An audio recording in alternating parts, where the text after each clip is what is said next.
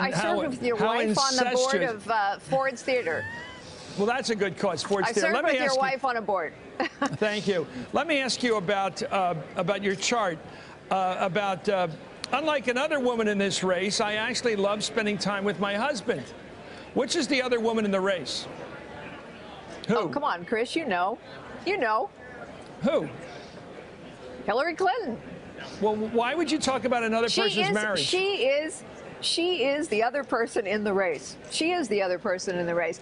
Well, look, Chris, Hillary Clinton is, you know, rolling out her husband to campaign for her, but she is also talking about her husband's uh, administration as an example of Democrat policies and how successful they've been. So I think it's pretty clear that Bill Clinton is fair game.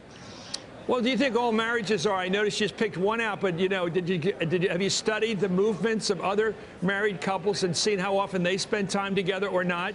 I mean, why this couple?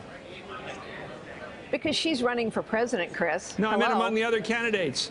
The other candidates and their spouses. Have you checked all their relationships to see their travel movements no, and schedules? No, absolutely not. You see, but why no, focus see, on the there's movements? Only, there's the only Clintons? two women running for president, Chris. There's only two women running for president.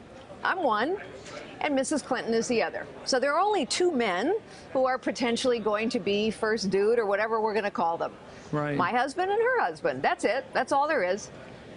Okay, let me ask you this, because everybody does it to me. I'm going to ask it to you. I think it's I think it's relevant whether somebody under the Constitution is eligible to run for president. Someone like Michele Bachmann just told me, well, let's talk about the important things, and I will say, well, constitutional eligibility would be pretty central. What's the centrality to you of the relationship between Hillary and Bill Clinton to the debate over who should be our next president? Chris, I think everything about all of our lives is relevant. You know why?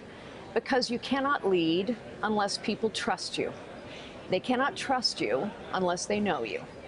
And that's why I've been open about all aspects of my life, whether it's the tragic death of our daughter Lori or the fact that I was fired at Hewlett Packard and why. People cannot trust you if they do not know you. And Mrs. Clinton's biggest problem is that people do not trust her. And there's so much evidence as to why they don't. I mean, we have run out of gates to explain all the scandals that have dogged Bill and Hillary Clinton. The Clinton Global Initiative is like a Ponzi scheme to buy influence to this government, and Bill and Hillary Clinton sit on top of it. The truth is, Mrs. Clinton has escaped prosecution more times than El Chapo. I mean, maybe Sean Penn is standing by waiting to interview Yeah, her. Yeah, I know. Well- trust trust is central to leadership and she does not have the trust of the american people Okay, here's but your she's answer. on her way to become the democrat nominee I'll let you, I'll let, just like when people say I don't like New York values but won't tell me what they mean, I'm going to ask you this. Do you believe the Clintons have a real marriage? they've seem been to be married implying for a they very don't. long time they've been married for a very long time So it's a real marriage. they've been So married a- for a very long time It's a real marriage thing. You'll say that. they've been married for a long time Why are you hiding from an answer?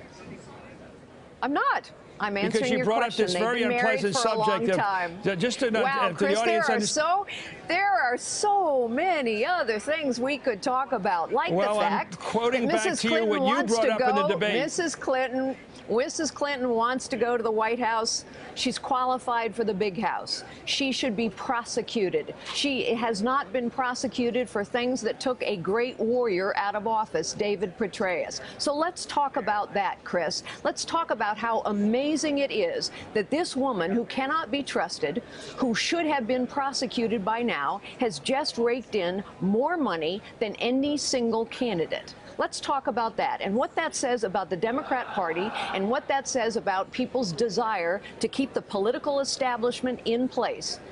She's inside that establishment, and people like Donald Trump are outside that establishment. She rakes in millions sitting inside government selling access and influence, and Donald Trump rakes in billions buying people like Hillary Clinton. Let us talk about that. Until we are Well- willing to challenge the establishment of both parties, we will never take our country back, and crony capitalism will continue to explode. And she's right at the center of it. Hey YouTube fans, I'm Luke Russert. Thanks for checking out our MSNBC channel. Subscribe subscribe by clicking right here and click any of the videos over here to watch the latest breaking news, mini documentaries, conversations from Shift, and other digital exclusives. Check it out.